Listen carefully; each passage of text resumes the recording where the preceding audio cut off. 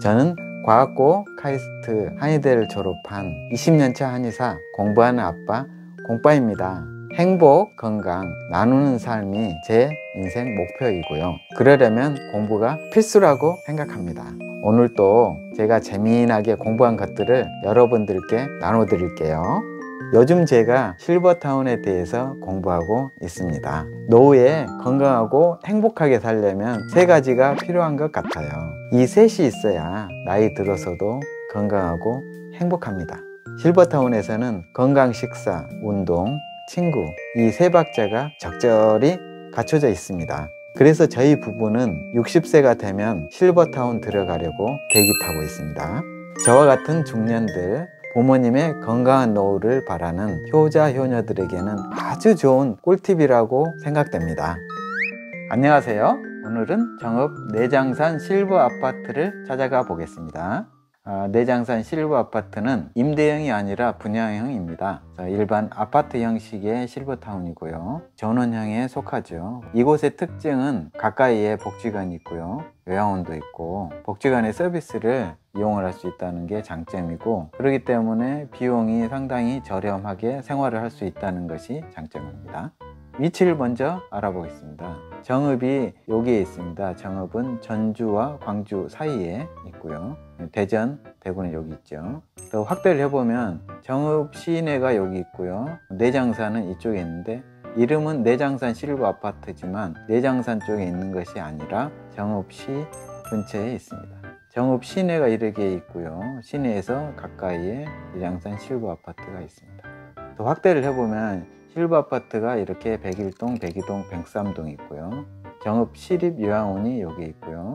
정읍시 노인복지관이 옆에 이렇게 위치를 하고 있습니다. 전천후 게이트볼장이 여기 있습니다. 전천후라 함은 실내 게이트볼장이라는 거죠.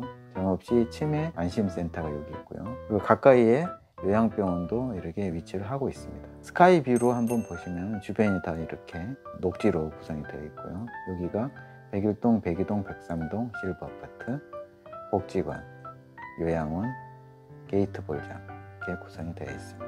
이곳은 총 3개 동에 147세대가 있고요. 2008년 개설되었습니다.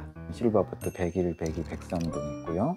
요양원, 복지관, 게이트 볼장, 요양병원은 이쪽 있고요. 바깥 모습입니다. 101동 모습이고요. 101동 전경, 백이동과 백삼동 여기는 관리동입니다. 백삼동 주변 아파트 모습이 아주 한가롭죠. 뒤편에 시립 요양원이 있습니다. 이쪽은 아파트고요. 이쪽이 복지관, 이쪽이 게이트 볼장입니다. 가까이 보시면은 복지관은 이쪽에 있고요. 아파트가 오른편에 이렇게 있습니다.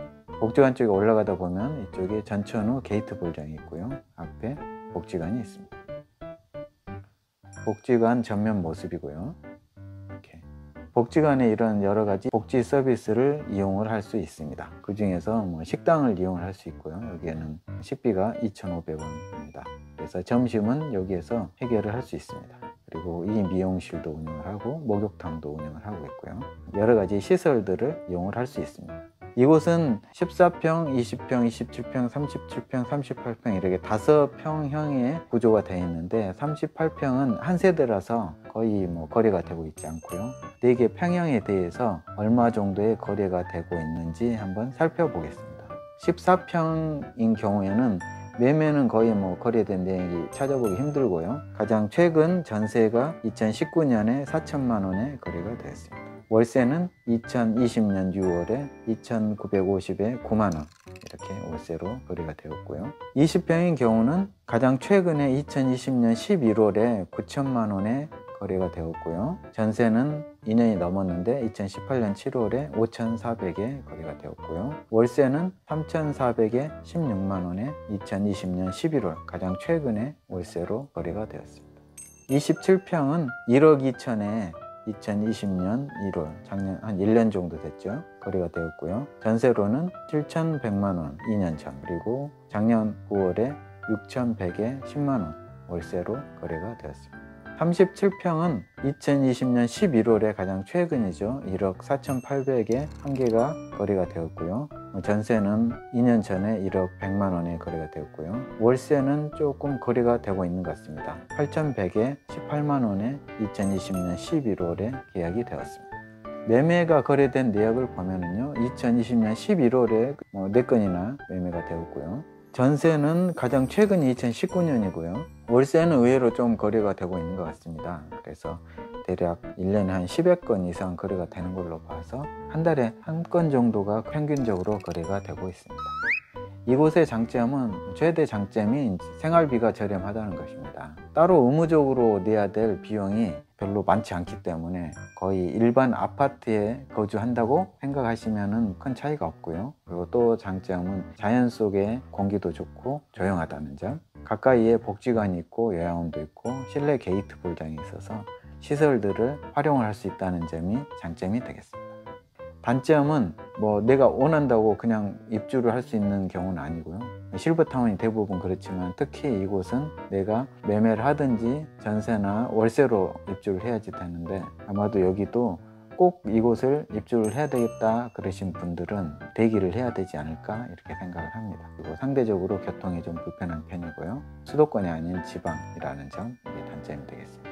제가 생각하는 이곳이 맞을 분들은 첫 번째 낮은 생활비를 원하는 시니어분들에게 추천드리고요.